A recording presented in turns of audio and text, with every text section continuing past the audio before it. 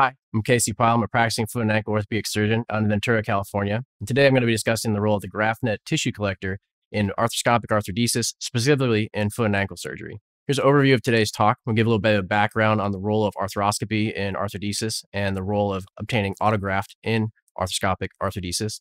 We're going to discuss the technique that I've been working with on my patients and give some video demonstration of how this can be done on a cadaver, and then give two case presentations of some patients of mine who have had success with this technique.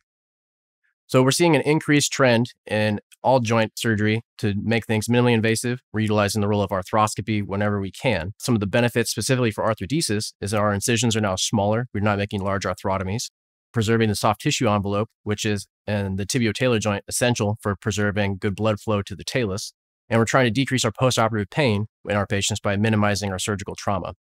And in any arthrodesis case, the role of autograft is always beneficial to help augment and promote a more reliable union at the arthrodesis site. However, autograft harvest has its own downsides, such as uh, donor site morbidity. We're often taking the graft from a remote location, such as the proximal tibia or the iliac crest, and it creates additional procedures which can add time to your surgery. So the solution I've been working on is utilizing the GraftNet tissue collector during the joint preparation of my arthroscopic arthrodesis to capture autograft that is being generated as part of my joint prep and building it into my surgical technique. So the technique overall is very similar to what you would normally do. You do your arthroscopic joint prep, first removing any articular cartilage utilizing either curettes, osteotomes, or an automatic shaver.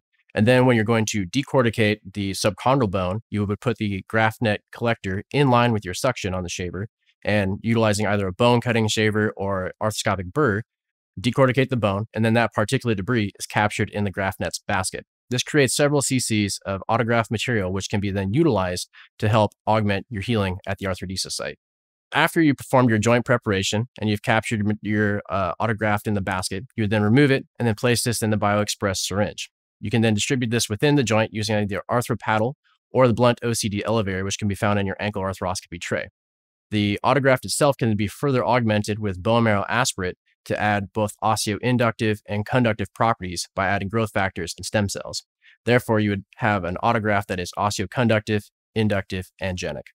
The instruments I utilize are the GraftNet tissue collector, the BioExpress syringe, and then either the arthro paddle or a blunt tipped OCD elevator to help distribute the graft within the joint.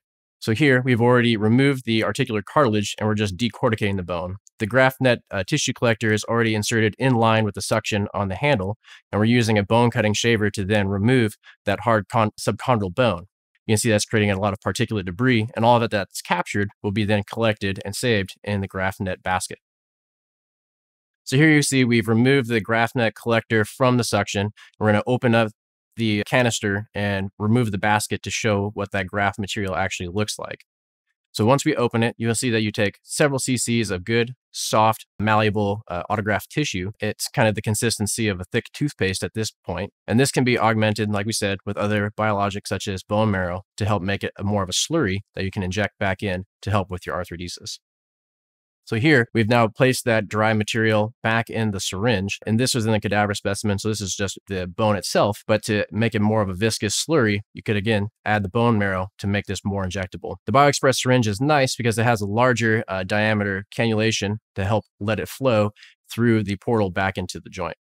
So now we're back inside the joint in this arthroscopic video footage showing the injection of the graft material through your portal back into the joint. And then here we're distributing the graft utilizing that blunt tipped OCD elevator to make it more evenly spread throughout the joint. At the conclusion, you can see how this would now fill in any of your nooks and crannies nicely as you get your approximation and compression at the arthrodesis site. I have two cases I'm going to be discussing with you. This first one is a 72 year old male, history of diabetes mellitus and some peripheral neuropathy. He had a, a, fracture of his ankle back in 2017. Initially treated conservatively, the uh, surgeon was concerned that he would have a poor outcome because he had uncontrolled diabetes at the time and some peripheral neuropathy. He proceeded to go towards a malunion of the fibula and a non-union of the medial malleolus and had a progressive valgus deformity and pain in his ankle with ambulation. When he presented to my practice, his A1C was now better controlled under 7%, and we discussed treatment options, and I indicated him for an arthroscopic arthrodesis with a GraftNet tissue collector. Here are his initial injury films showing that he had already progressed somewhat to a malunion at the fibula. It's short there. The medial malleolus, we see a little early cortication, and the fact that the two bones are not coming together. Here on this preoperative uh, weight bearing view, we can see that we have uh, significant arthritis and wear at the lateral joint line. The fibula is healed but short, and the medial malleolus has gone to a non union. When he stands, he has tibio-talar valgus, and he has extensive soft tissue swelling from the pain and irritation. Here are the intraoperative arthroscopic images of us injecting that graft material. And then our immediate postoperative images showing our compression screws. You see, we have good approximation at the uh, arthrodesis site this time. Fast forward to our three week post op, we still have good approximation and we don't see much resorption at the arthrodesis site, which is good.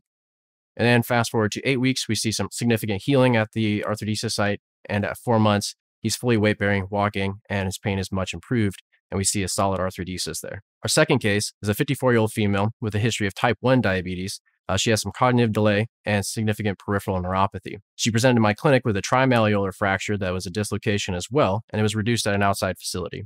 On presentation, her A1C was 8.5%.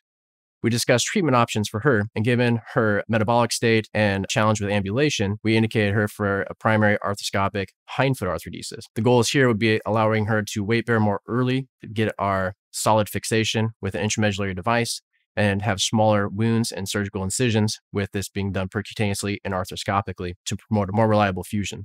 So here are injury films that she presented my clinic with. You see a trimalleolar fracture, posterior dislocation at the ankle. Post-reduction x-rays show that the talus is back under the tibia. We see a comminuted medial malleolus, a, a Weber B fibular fracture that's displaced and shortened, and a posterior malleolar fragment as well. Intraoperatively, here are arthroscopic images showing us injecting that graft material. And in the immediate post-op images, you can see we placed a hindfoot fusion nail and we have good approximation at both the tibio-talar and subtalar joints. We prepared both joints in her and we did this arthroscopically. At her nine week post op, we see good evidence of healing at both sites. And at four months, she's been walking, weight bearing nicely, working with therapy. She uses a walker for ambulation, but more for fall prevention purposes. As we mentioned, this is means of harvesting the bone graft itself, which is one part of the kind of trifecta of autograft. We also want to augment this, and this can be done with bone marrow that can then be spun down in the angel device to create a autograft that is osteoconductive, osteoinductive, and osteogenic, as it will have the good structural material from the graft and then you have the growth factors and stem cells coming from your bone marrow to create a very ideal healing environment. This is all done through a minimally invasive approach, utilizing steps in a procedure that you'll always be performing with the joint preparation. And it's all utilizing the patient's own tissues. Thank you very much.